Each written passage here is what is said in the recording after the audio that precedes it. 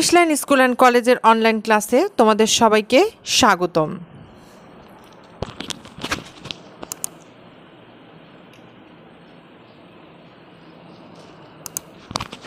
প্রথমেই আমি আমার পরিচয় জানিয়ে দিচ্ছি। আমি জিন্নাত আরা, সহকারী শিক্ষক, সমাজবিজ্ঞান, police line school and college, Rangpur.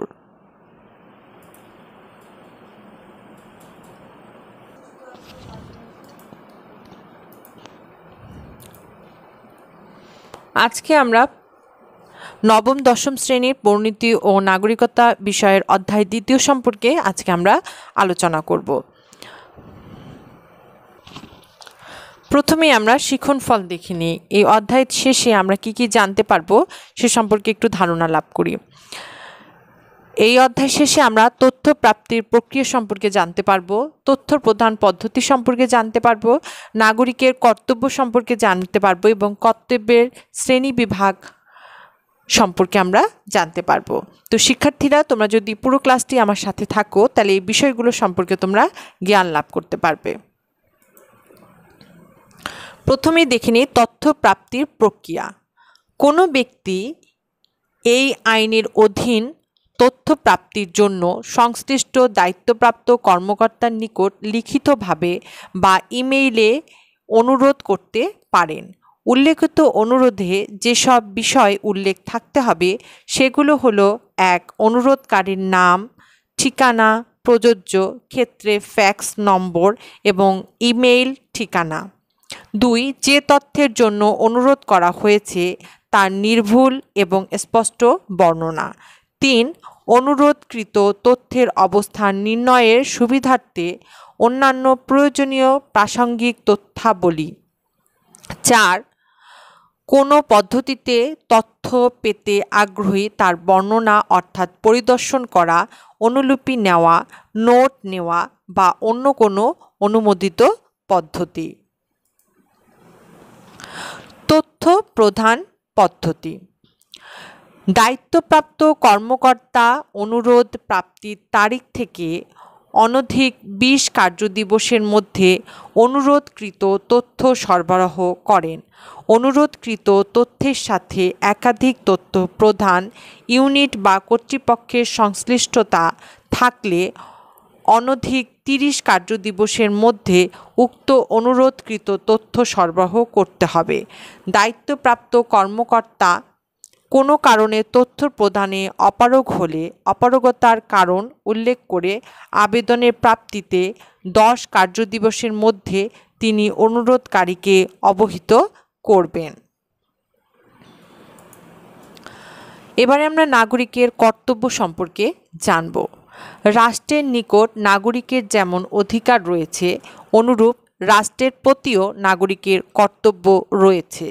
কর্তব্য পালন ব্যতীত শুধু অধিকার ভোগ করা প্রত্যাশিত নয়। বিভিন্ন অধিকার প্রদানের মাধ্যমে রাষ্ট্র নাগরিকদের নিজের প্রতি অনুগত ও দায়িত্বশীল করে তোলে। রাষ্ট্র প্রদত্ত অধিকারের মাধ্যমে নাগরিক জীবন বিকশিত হয়।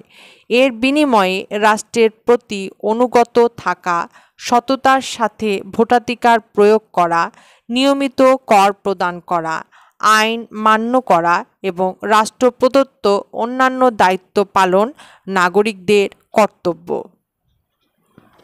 তো আমরা কি জানলাম যে নাগরিকের যেমন অধিকার রয়েছে, ঠিক তেমনি রাষ্ট্রের প্রতি কিন্তু কর্তব্য রয়েছে। কর্তব্য পালন ব্যতীত শুধু অধিকার ভোগ করা কিন্তু একটা নাগরিকের জন্য কখনোই প্রত্যাশিত নয়। বিভিন্ন অধিকার প্রদানের মাধ্যমে রাষ্ট্র নাগরিকের নিজের প্রতি অনুগত দায়িত্বশীল করে তোলে। রাষ্ট্রপতির রাষ্ট্র প্রদত্ত অধিকারের মাধ্যমে নাগরিক জীবন বিকাশিত হয়। রাষ্ট্রের প্রতি অনুগত থাকা, সততার সাথে ভোটাধিকার প্রয়োগ করা, নিয়মিত কর প্রদান করা, আইন মান্য করা রাষ্ট্র প্রদত্ত অন্যান্য দায়িত্ব পালন করা নাগরিকের কর্তব্য।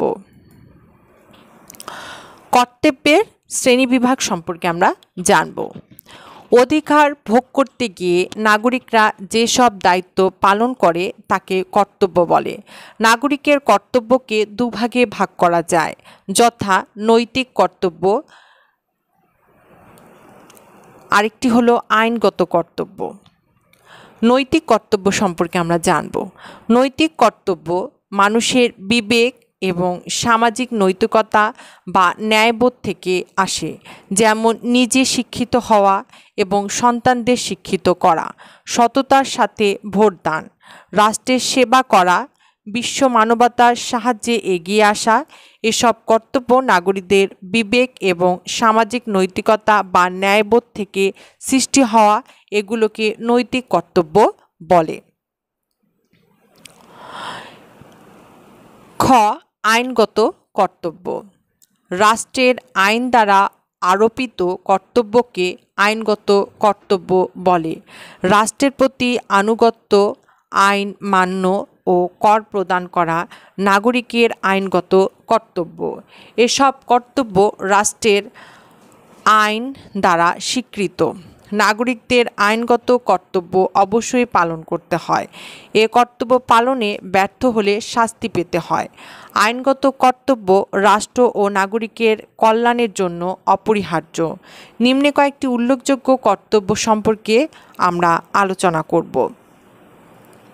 এবারে আমরা কয়েকটি উল্লেখযোগ্য কর্তব্য সম্পর্কে আমরা আলোচনা করব। রাষ্ট্রের প্রতি আনুগত্য দেশের স্বাধীনতা ও সার্বভৌমত্ব রক্ষা করা সংবিধান, রাষ্ট্রীয় মূলনীতির প্রতি শ্রদ্ধাবোধ, প্রদর্শন ইত্যাদির মাধ্যমে রাষ্ট্রের প্রতি আনুগত্য প্রকাশ পায়। অন্যভাবে বলা যায়, রাষ্ট্রের অস্তিত্ব, সংহতি ও সমৃদ্ধি লাভের জন্য প্রয়োজন বোধে নিজের জীবন উৎসর্গ করার অর্থ হচ্ছে রাষ্ট্রের প্রতি আনুগত্য প্রদর্শন। দুই, আইন মান্য করা। আমাদের জীবন সম্পত্তি ও স্বাধীনতার রক্ষা কবচ হচ্ছে আইন। আইন সবার জন্য সমানভাবে প্রযোজ্য। আইনের অবর্তমানে সমাজ ও জীবন হয়ে ওঠে অরাজকতাপূর্ণ। আইনবিহীন সমাজ রাষ্ট্র ও নাগরিক জীবন কিছুই কল্পনা করা যায় না। নাগরিক অধিকার ও স্বাধীনতা নিশ্চিত করার লক্ষ্যে রাষ্ট্র আইন প্রণয়ন করে। সুতরাং নাগরিকদের আইন মান্য করা কর্তব্য। তিন, কর প্রদান করা। রাষ্ট্র পরিচালনা করতে সরকারের প্রচুর অর্থের প্রয়োজন হয়। এজন্য সরকার নাগরিকদের উপর প্রত্যক্ষ ও পরোক্ষ কর আরোপ করে। কাজেই নিয়মিত ও যথাযথভাবে কর প্রদান করা প্রত্যেক নাগরিকের কর্তব্য। তাহলে, শিক্ষার্থীরা, আমরা যে আমরা নাগরিকের কর্তব্য নাগরিকের কর্তব্যের শ্রেণি বিভাগ যেমন নৈতিক কর্তব্য আইনগত কর্তব্য রাষ্ট্রের প্রতি আনুগত্য প্রদর্শন, আইন মান্য করা, কর প্রদান করা ইচ্ছা, ইত্যাদি নাগরিকের যে কর্তব্যের যে শ্রেণি বিভাগ, এ সম্পর্কে আমরা জানলাম। এই আলোচনার মাধ্যমে তোমরা নিশ্চয়ই এই বিষয়গুলো সম্পর্কে বুঝতে পেরেছ যে তথ্য প্রাপ্তির প্রক্রিয়া, তথ্য প্রদান পদ্ধতি, নাগরিকের কর্তব্য এবং কর্তব্যের শ্রেণি বিভাগ সম্পর্কে আমরা আলোচনা করলাম। এবারে বাড়ির কাজ। ঝটপট খাতা কলম বের করে বাড়ির কাজটি লিখে পেল প্রশ্নটি কি? আমরা একটু দেখি। তথ্য অধিকার আইনের গুরুত্ব বর্ণনা করো। প্রশ্নটি আমি আবার বলছি। তথ্য অধিকার আইনের গুরুত্ব বর্ণনা করো। আইনগত ও নৈতিক কর্তব্যের পার্থক্য নির্ণয় করো। আইনগত ও নৈতিক কর্তব্যের পার্থক্য নির্ণয় করো। আশা করি শিক্ষার্থীরা তোমরা যদি মনোযোগ সহকারে ক্লাসটি করে থাকো, তাহলে অবশ্যই এই বাড়ির কাজটি তোমরা করতে পারবে। এতক্ষণ ধরে মনোযোগ সহকারে ক্লাস করার জন্য তোমাদের সবাইকে ধন্যবাদ। করোনাকালীন সময়ে বাসায় অবস্থান করবে এবং স্বাস্থ্যবিধি মেনে চলবে এবং যে বাড়ি কাজগুলো তোমাদেরকে দেওয়া হলো সেগুলো মনোযোগ সহকারে তোমরা করবে এবং যখন প্রতিষ্ঠান খুলবে তখন নিজ নিজ ক্লাসের পরিণতি ও নাগরিকতা বিষয়ক শিক্ষকের কাছে প্রয়োজন মনে করলে তোমরা বাড়ির কাজগুলো দেখিয়ে নিতে পারবে। তাহলে আজকে এ পর্যন্ত। নতুন একটি ক্লাস নিয়ে খুব দ্রুত তোমাদের সামনে উপস্থিত হব। সে পর্যন্ত আল্লাহ হাফেজ।